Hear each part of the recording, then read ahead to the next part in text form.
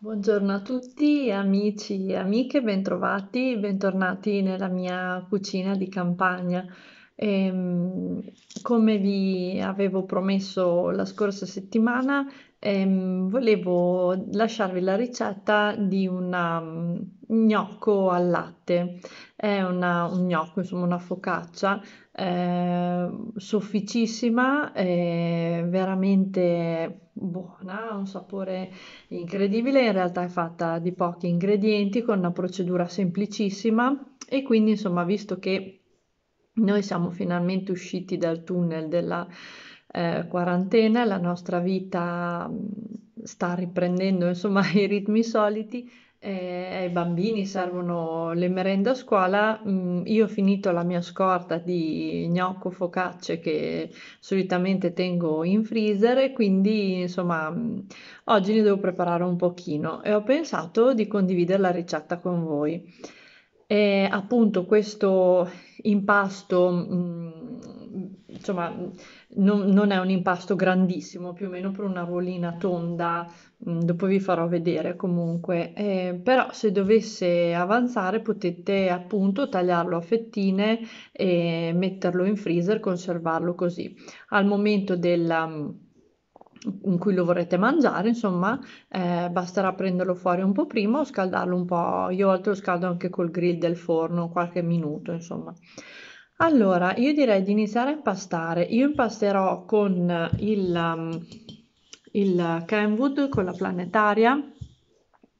Voi potete impastare con qualsiasi impastatrice, bimbi, eh, frullino con le fruste per impastare, non quelle per montare, eh. Ehm, quelle diciamo fatte, fatte a, a spirale, quelle sono le fruste per l'impasto. Eh, però potete anche impastare a mano su una spianatoia quindi facendo la, mettendo al centro la farina e poi tutti gli altri ingredienti come qualsiasi altro impasto. Eh, quindi insomma io vi farò vedere come procedo, ci sarà un momento in cui lasceremo l'impasto qui eh, a lievitare e poi dopo lo eh, invece lo sistemeremo nella, nella teglia per la seconda lievitazione eh, e poi procederemo alla cottura. Quindi iniziamo e così intanto facciamo due chiacchiere, sistemo la videocamera. Eccomi qui. Allora, nella, nel boccale, insomma, nella mia, nel contenitore della mia planetaria ho già inserito la farina. Eh, io ho fatto mh, 350 g di farina eh, mettendone 300, 0 e 50 integrale. Eh, voi veramente potete usare una zero, una semi-integrale, un integrale, una farina a vostro piacimento. Ovviamente, come già vi ho detto in altri video, la farina zero lascia una consistenza agli impasti più, eh, diciamo, soffice, più morbida. Eh, farine di grani antichi eh, o farina integrale, insomma, mh, ovviamente non hanno proprio questa, mh, diciamo, questa riuscita, anche se da un punto di vista nutrizionale sono sicuramente da preferire. E, ehm, visto che in famiglia, soprattutto ultimamente, eh, pare che la farina integrale ehm, non venga molto apprezzata dai miei figli e da mio marito, eh, ho deciso di, ehm, anche quando utilizzo la zero, magari di, diciamo che ne togliamo un pugnetto e lo aggiungiamo di farina integrale, sempre meglio di niente. E, ehm, quindi insomma mettiamo la farina, ah, lascerò come sempre la lista degli ingredienti nel primo commento in evidenza. E poi aggiungiamo eh, un pizzico di sale, in realtà sono eh, 6 grammi di sale, io metto già il sale all'interno, ci vado a occhio sui 6 grammi, anche perché mi si è rotta la mia bilancina elettronica e devo assolutamente, ne ho un'altra ma è senza, senza pile, senza batterie, come sono proprio sfornita di bilance. Ecco, quindi io il sale l'ho eh, mischiato alla farina in modo che poi non venga a contatto col lievito perché in questa ricetta useremo del semplicissimo lievito di birra. Poi in questo pentolino ho già scaldato 200 ml di latte, io ho usato un latte intero mm, di quelli che prendo, il latte che prendo al distributore, molto buono, molto corposo. All'interno di questo pentolino andrò a sciogliere 5 grammi di lievito di birra fresco, questo in cubetti. Lo sbricioliamo e aggiungiamo anche un cucchiaino di zucchero bianco. Potete anche decidere di aggiungere un cucchiaino di miele. Io solitamente eh, vi dico che metto il miele. Adesso sto seguendo proprio la ricetta alla lettera, quindi mescolate, fate un po' sciogliere il lievito e lo zucchero. Il latte, mi raccomando, deve essere ehm, più a temperatura ambiente che che tiepido, insomma né freddo né caldo. Il mio in realtà è un po' freschetto, eh? Mm, non sono stata bravissima, non l'ho scaldato benino benino, speriamo non faccia danni. Quindi che voi abbiate la farina qui o che ce l'abbiate nella spianatoia, al centro facciamo un buchetto e andiamo a mettere il latte facendo attenzione di far scendere anche il lievito e lo zucchero che anche se si è sciolto tenderà a rimanere sul fondo. Ok a questo punto eh, manca soltanto l'ultimo ingrediente cioè l'olio extravergine di oliva. Ce ne vanno tre cucchiai. Io li ho messi qui e vado ad aggiungerli a tutto il resto. Bene adesso passo alla planetaria. Eccoci qui, ho montato il gancio, scusate non ve l'ho fatto vedere, questo, il gancio per impastare. Cominciamo con una velocità bassa.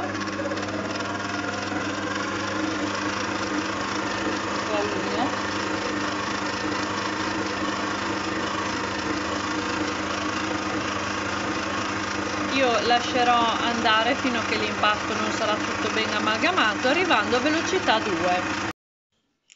Allora, eccoci qui, eh, l'impasto si è ben incordato al gancio, è pronto, adesso lo mettiamo sulla spianatoia, eh, lo eh, diciamo maneggio un attimo, lo manipolo un attimo e poi mh, mm, lo metterò a riposare un pochino.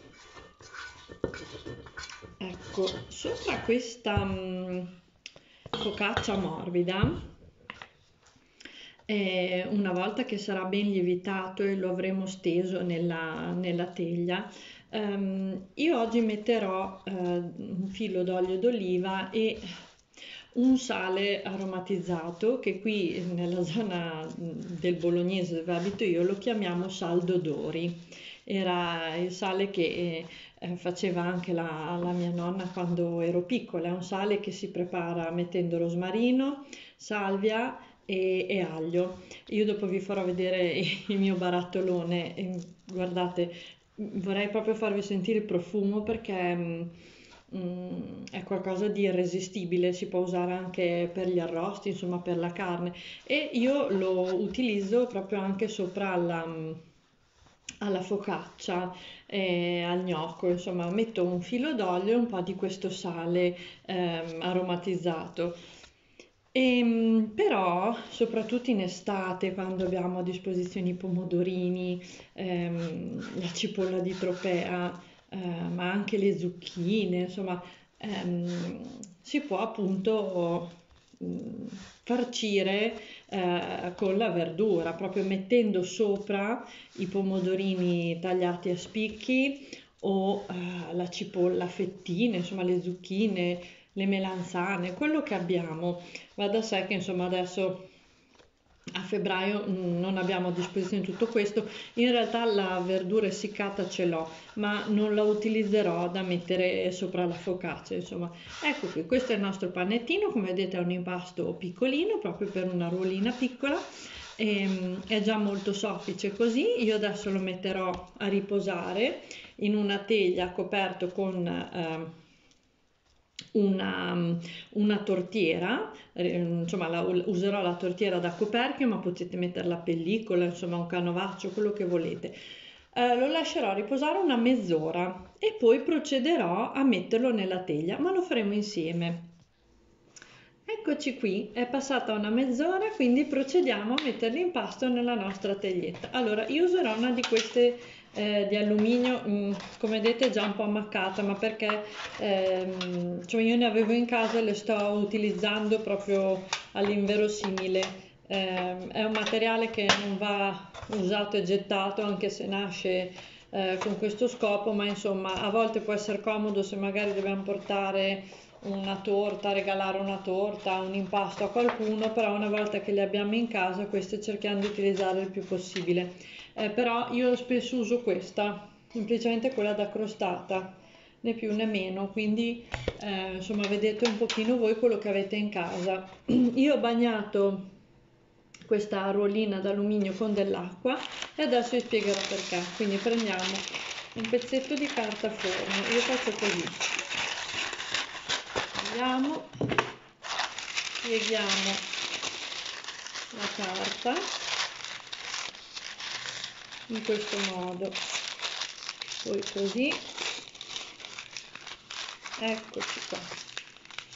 A questo punto quando la carta forno ha questa forma taglio un pochino i bordi e aprendola ecco che avrò la carta giusta giusta per la mia teglia allora facciamo così che sposto un attimo il tagliere così vi faccio vedere per benino.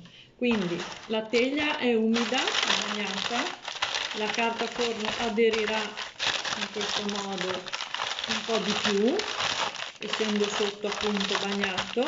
Vado a mettere un filo d'olio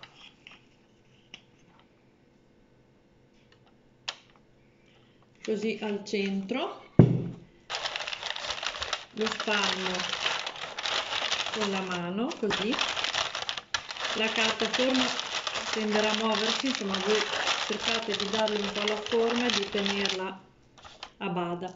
Prendiamo il nostro impasto dalla teglia che bello soffice lo mettiamo al centro e con le mani senza tagliere eh, scusate mattarello o quant'altro con le mani andiamo a stenderlo in questo modo fino a fargli coprire tutta la superficie della nostra teglietta. Così cerchiamo di eh, renderlo abbastanza uniforme. Ecco qua. È già fatto è sofficissimo questo impasto quindi vedrete che anche da stendere sarà proprio mm, maneggevole. Sarà un gioco da ragazzi fare questa focaccia morbida. Ecco qua. Questo è il risultato. Io lo lascerò um, a lievitare in forno a forno spento. E quando sarà lievitato ce ne accorgeremo perché sarà più o meno raddoppiato di volume, avrà un aspetto proprio molto molto soffice.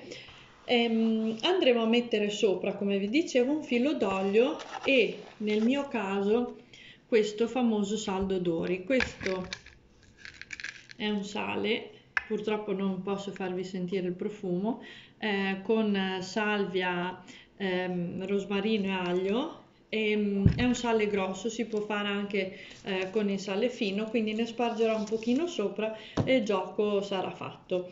Quindi noi ci rivediamo al momento di condire la focaccia poco prima di metterla in forno. Nel frattempo però pensavo ehm, di ehm, così, come dire, di anticipare magari un attimo il nostro momento uh, della lettura ho ricevuto, adesso mi siedo così mi vedete, in regalo, ecco, scusate, ho fatto un danno terribile.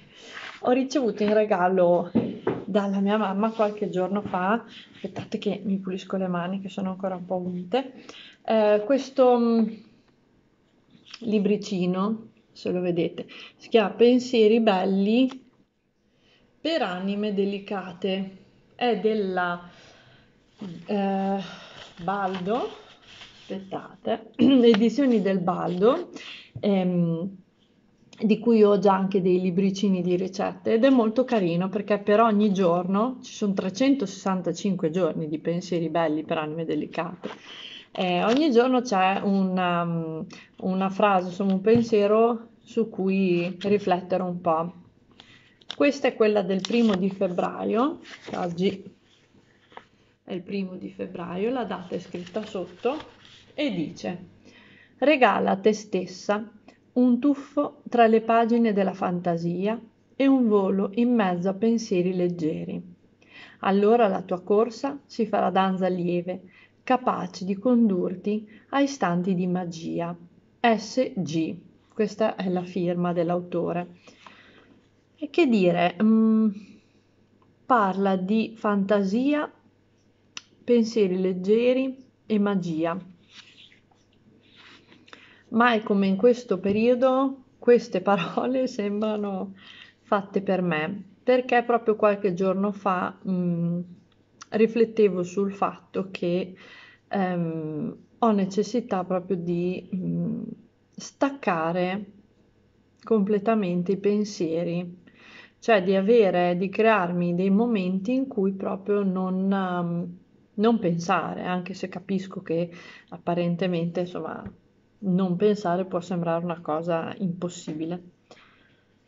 Ma eh, invece credo che sia un esercizio quasi utile da fare, cioè avere dei momenti in cui proprio mh, sforzarsi di non pensare a nulla o comunque non magari a quelle cose che in un determinato momento della vita possono un po' darci da fare.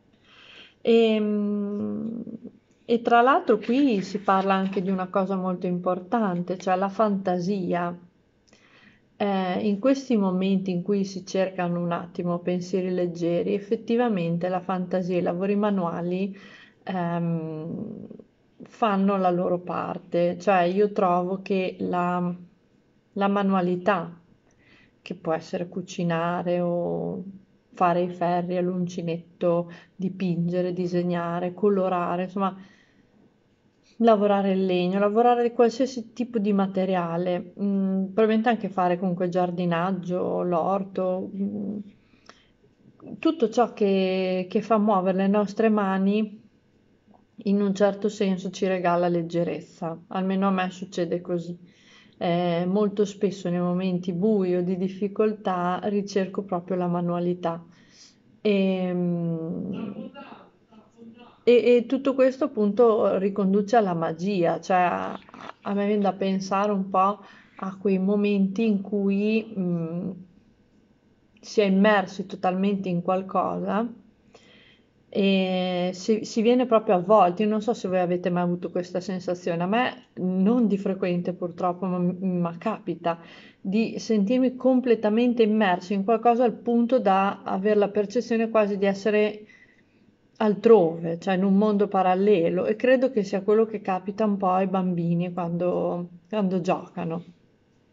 Quando eh, giocano molto concentrati, molto immedesimati in qualcosa, ehm, ad esempio a me capita di aver visto anche i miei figli nell'atto del, del disegno, della pittura, lasciare andare la mandibola, cioè di trovarli con la bocca quasi aperta, eh, proprio eh, rilassati, completamente abbandonati.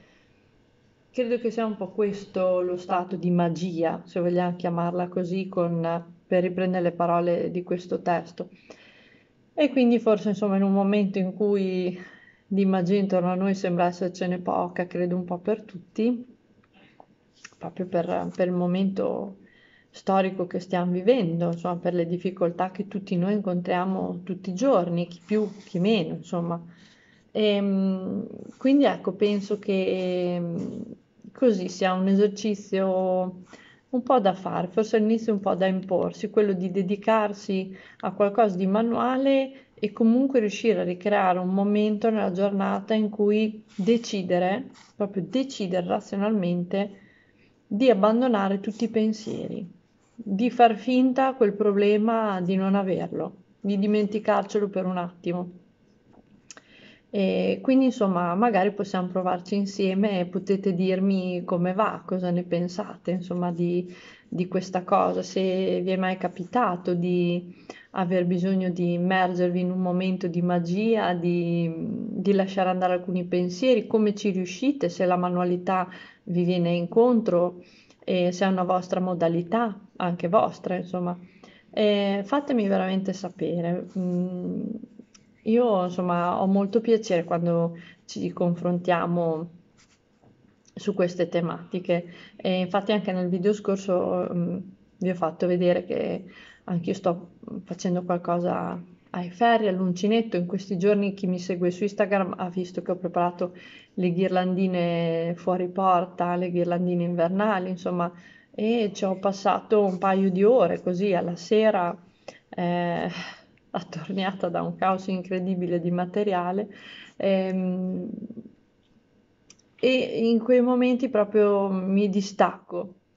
E, ehm, e quindi insomma dopo c'è anche poi la soddisfazione in realtà del risultato finale, che non importa eh, creare opere d'arte, però penso che qualcosa che viene fatto mh, con le nostre mani abbia sempre un valore aggiunto. Se ci fate caso è difficile anche buttare via qualcosa che abbiamo fatto, è molto più semplice gettare nella spazzatura qualcosa che abbiamo comprato. Almeno a me capita così. E d'accordo, insomma, io adesso vi lascio, eh, ci mettiamo in pausa un attimo, aspettiamo che l'impasto lieviti, che col lievito di birra comunque sarà una cosa abbastanza rapida e, e poi ci vediamo dopo. Ecco qui la focaccia è lievitata, quindi a questo punto che bella soffice io metto sopra un filo d'olio, così, ho già acceso il forno, il forno va preriscaldato a 180 gradi, io lo uso ventilato e a cuocere impiega 25 mm, minuti più o meno. Poi spalmo un pochino l'olio, è stata un po' abbondante comunque, e con le dita faccio le, le fossette tipiche insomma della, della focaccia.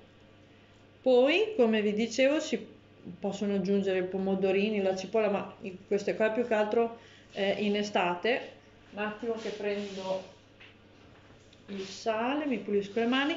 Quindi io adesso invece metterò il sale aromatizzato, proprio poco perché essendo grosso altrimenti insomma mh, diventa troppo salato. Quindi quando il forno sarà caldo eh, la infornerò e vi farò vedere alla fine una volta cotta come si presenta.